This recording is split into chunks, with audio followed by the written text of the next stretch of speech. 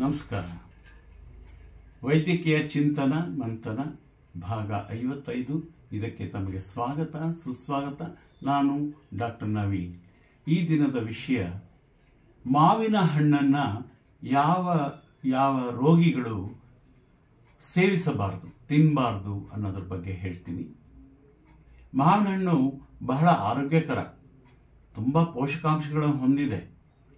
ತುಂಬ ದೇಹಕ್ಕೆ ಒಳ್ಳೆಯದು ಆದರೆ ಕೆಲವು ರೋಗಿಗಳಲ್ಲಿ ಮಾವಿನ ಹಣ್ಣು ನಿಷೇಧ.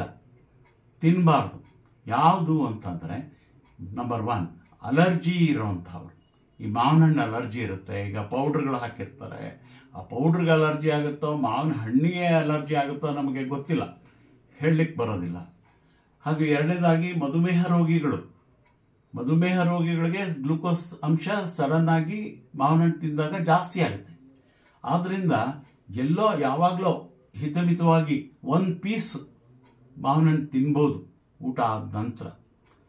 ಎಸ್ಪೆಷಲಿ ಡಯಾಬಿಟಿಕ್ಸು ಮಧುಮೇಹ ರೋಗಿಗಳು ಮಾವಿನ ಹಣ್ಣು ಪಚ್ಚಬಾಳೆಹಣ್ಣು ಹಣ್ಣು ಹಣ್ಣು ಸಪೋಟ, ಕಪ್ಪು ದ್ರಾಕ್ಷಿ ಇಂಥದ್ದನ್ನ ತಿನ್ನಲೇಬಾರದು.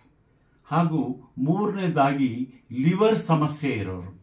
ಲಿವರ್ ಸಮಸ್ಯೆ ಇರೋರು ಅವರ ವೈದ್ಯರುಗಳನ್ನ ಕೇಳಿ ಮಾವನಣ್ಣು ತಿನ್ಬಹುದಾ ಅಂತ ತಿನ್ಬಹುದು.